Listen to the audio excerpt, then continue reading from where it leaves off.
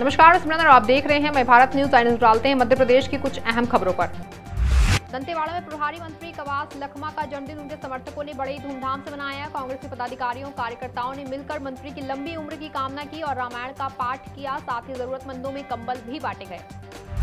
बेमेतरा में पिछले चार दिनों में मुख्यालय से गुजरने वाले नेशनल हाईवे सहित अन्य क्षेत्रों में हुई अलग अलग दुर्घटनाओं में छह लोगों की मौत हो चुकी है। वहीं चार लोग गंभीर रूप से घायल हो गए हैं, जिन्हें रायपुर के अलग अलग अस्पतालों में भर्ती करा दिया गया है। सभी दुर्घटनाएँ तेज रफ्तार वाहन की चपेट में आने के चलते हुई हैं।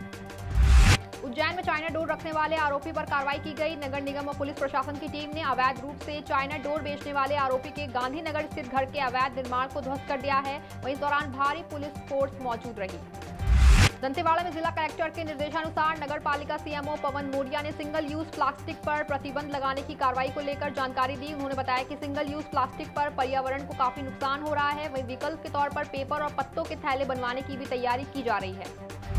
कटनी में 20 दिनों से संविदा स्वास्थ्य कर्मी अपनी मांगों को लेकर धरने पर बैठे हुए हैं। संविदा स्वास्थ्य कर्मियों ने अनदेखी का आरोप लगाते हुए कहा कि अगर हमारी मांगे पूरी नहीं की गई तो ऐसे ही अनिश्चितकालीन हड़ताल देते रहेंगे। वहीं स्वास्थ्य कर्मियों की हड़ताल से मरीजों को काफ़ी दिक्कतों का सामना करना पड़ रहा है।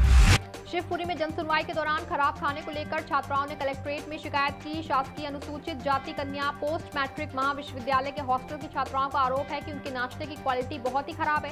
खाने में आलू और दाल के अलावा कुछ भी नहीं दिया जाता है। उनकी शिकायत उन्होंने वार्डन से भी की है, लेकिन कोई भी सुनवाई नहीं हो रही है।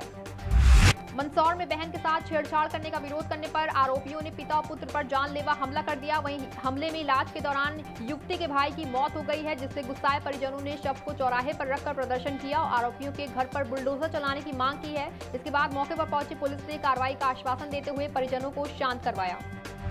शिवपुरी में सिंघारई ग्राम पंचायत में पूर्व सरपंच और सचिव पर विकास के नाम पर धांधली करने का आरोप लगा है। विकास के नाम पर करोड़ों रुपए की राशि तो सरकार से मंजूर करा ली गई, लेकिन गाँव में हालात अभी भी जस के तस बने हुए हैं।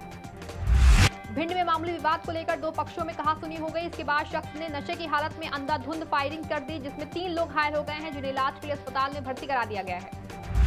भोपाल में पुराने विवाद के चलते एक ऑटो चालक से मारपीट के बाद उसका अपहरण कर लिया गया और परिजनों से फिरौती की मांग की गई। इसके बाद पुलिस ने तत्परता दिखाते हुए पाँच लोगों को गिरफ़्तार कर लिया है। बताया जा रहा है कि पैसे के लेन देन को लेकर अपहरण की वारदात को अंजाम दिया गया है। फ़िलहाल मध्य प्रदेश के इस बुलेटिन में इतना ही। देखते रहे मई भारत न्यूज़